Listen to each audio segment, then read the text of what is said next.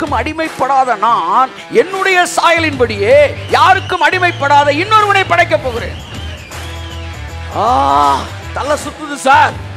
தலை சுத்துது. தேவன் என்ன படைக்க போறார் தெரியுமா? பச்சையா சொன்னா தேவன் இன்னொரு கடவுளை படைக்க போறாரு.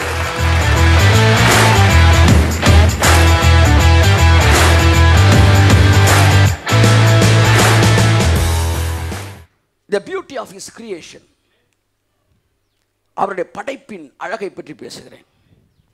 தேவன் ஏன் சாயல் படியே ஒருத்தனை படைக்கணும்னு நினச்சாரு? சாயலை நீங்கள் புரிஞ்சுக்கிட்டீங்கன்னா தான் இந்த பிளெஸிங்கை புரிஞ்சுக்க முடியும். ஏதோ பரிசுத்தவன கிருபையில் எனக்கு வெளிப்படுத்தப்பட்ட சிறிய அளவு வெளிப்பாடுகள் உங்கள்கிட்ட பேசிக்கிட்டு இருக்கிறேன். சாயல் என் சாயலின்படி ஒருத்தனை படைப்போம்னாரு. அவர் சாயல் என்ன? சொல்லுங்கள் அவர் சிருஷ்டிப்பார் என்ன சிருஷ்டிக்க முடியும். அவரால் அழிக்க முடியும். அவரால் லெஃப்டில் போக முடியும். அவரால் ரைட்டில் போக முடியும். காட் அப்படின்னா யார் தெரியுமா?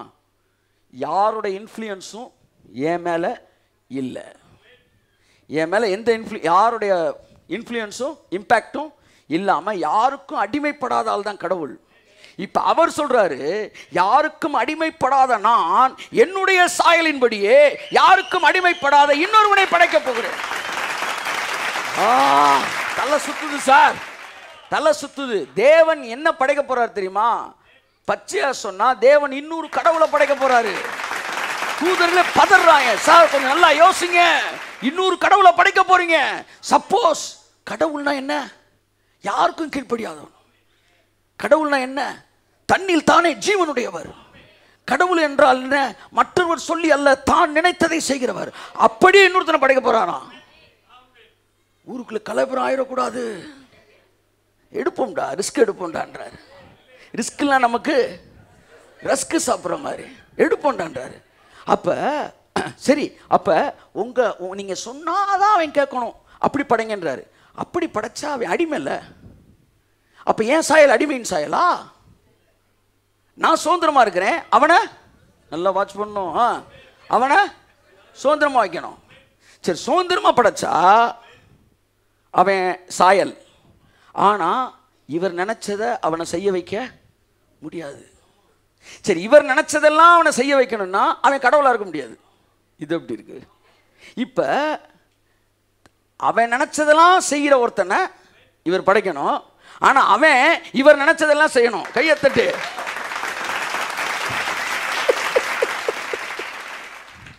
புரிஞ்சுக்காங்க ஆவியானவர் புரிய வைப்பார். அவன் நினச்சதெல்லாம் செய்கிற அளவுக்கு அவனுக்கு முழு உரிமையோடு கடவுளைப் போலவே தானே முடிவை எடுக்கக்கூடிய திறமையோடு ஒருவனை படைக்க வேண்டும். அவன் தான் நினைத்ததெல்லாம் செய்யலாம் என்று ஒருவனை படைச்சிடணும். ஆனால் அவன் நினைக்கிறதெல்லாம் நான் நினைக்கிறதாவே செய்யணும். அதை விடுதலையோடு செய்யணும். இப்படி ஒருத்தனை படைக்கணும். இதுக்கு பேர் தான் இன்ஃப்ளூயன்ஸ் என்ன மாதிரியே இன்னொரு கடவுள் ஆனால் நினைக்கிறது நான் நினைக்கிற அதே இன்ஃப்ளூயன்ஸ் அவனுக்குள்ளே இருக்கணும். அப்படி ஒருத்தனை படைச்சார். அப்படி எந்திரிக்கிறான். சே! மனிதனை படைக்கும்போது தூதர்கள் பார்த்தாங்களாம் ஆதாம் மனுஷனை தேவன் படைச்சிட்டான்னு சொல்லலையாம். லூசிபர் சொன்னானா பார்த்துட்டு அதுக்கு முன்னாடி லூசிபர் வீழ்ச்சி விழுந்துருச்சுன்னு சொல்ல சொல்கிறேன் போய் சொல்கிறானா ஏ இன்னொரு கடவுள்ரா இன்னொரு கடவுள்றான்றானா எந்திரிச்சு நின்று பார்த்தா அப்படியே தேவனுக்கு கண்ணாடியை பார்க்குற மாதிரி இருக்குது யோசிங்க அப்படியே படைச்சார். அவற்றை இருந்து எல்லாம் இவனுக்குள்ளே இருக்கு. இவன் வெட்டி எடுக்கப்பட்ட கண்மலை தோண்டி எடுக்கப்பட்ட துறவு. இவன்கிட்ட என்ன இருக்கு? அவர்கிட்ட இருக்க எல்லாம் இருக்கு. கத்தர் சொன்னார் நீ எல்லாம் நீ விரும்பினதை செய்யலாம். ஆனாலும் என்னுடைய இன்ஃப்ளூயன்ஸ் உனக்குள்ள இருக்கும். என் இன்ஃப்ளூயன்ஸ்னால் என்னுடைய தாக்கம் அந்த அதிர்வு.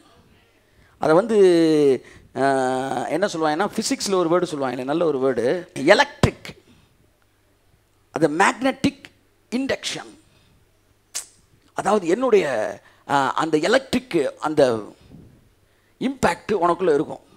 இதுதான் ஜீவன். நான் ஃப்ரீயாக இருக்கிறேன் ஆனால் தேவனோட இணைஞ்சு இருக்கிறேன். நான் ஃப்ரீயாக இருக்கேன் தேவனோட இணைஞ்சிருக்கிறேன். இப்போ வேற ஒரு பழம் இருக்குது அந்த பழம் நன்மை தீமை அறியத்தக்க பழம்.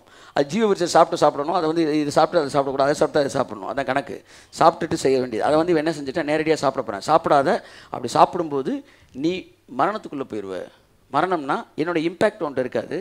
நீ வேற ஒருத்தனோட இம்பேக்டுக்குள்ளே வந்துடுவ வேறு சாயல் வந்துருன்றாரு அவன் என்ன செய்கிறான் அந்த பழத்தை அவன் சொன்னதை கேட்டு புசித்த போது அவன் வார்த்தைக்கு இவன் கீழ்ப்படிந்ததுனாலே இந்த எலக்ட்ரிக் இண்டக்ஷன் கட்டாகி அந்த எலக்ட்ரிக் இண்டக்ஷன் எனக்குள்ள மேக்னெட்டிக் பவர் உள்ளே வந்துருச்சு. அந்த வேவ் உள்ளே வந்த உடனே இப்போ எனக்குள்ளே அதே ஆள் தான். நான் பிசாசின் பிள்ளையான உடனே டக்குன்னு காதெல்லாம் பெருசாகலை. அதே மாதிரி இருக்கிறேன் ஆனால் என் சாயல் மாறிடுச்சு. சாயல்னா என்ன? இம்பேக்ட்